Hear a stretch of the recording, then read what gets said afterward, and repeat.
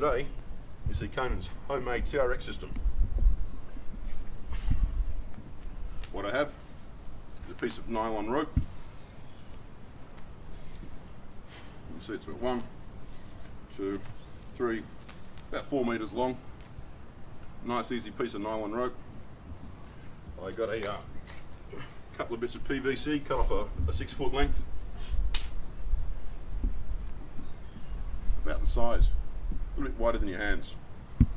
Now to make this, you simply thread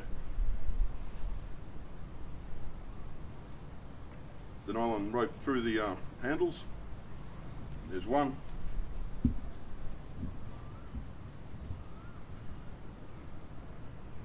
Two.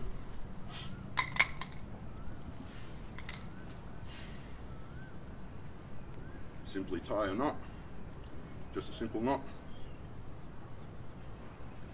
Make it fairly secure, because the last thing you want to do is the knot to slip while you're exercising hanging off the, the rope.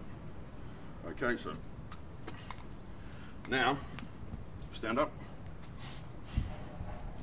You can see I've got a loop of rope with two handles. Now, what do we do with this? Uh-huh. Unfortunately, there's no movement in that, but you can do simple resistance exercises where you pull against your own body weight. It's a nice tension exercise. Or preferably, you hook it around something, a couple of handles, and do your back, your chest,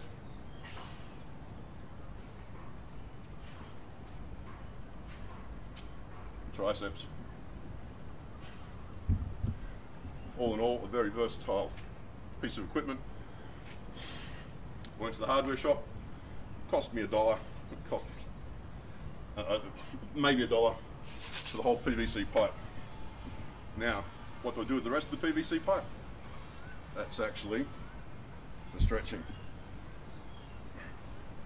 Because I'm doing movies and a lot of sword fighting, I um, need to keep my mobility.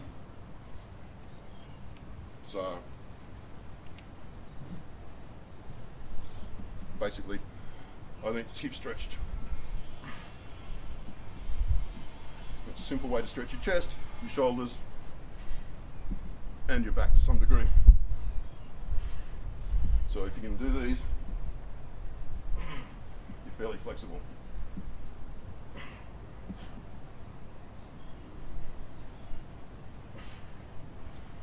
So, total of between two and five dollars, you've got a complete home body, body weight workout kit. Thanks for watching Conan.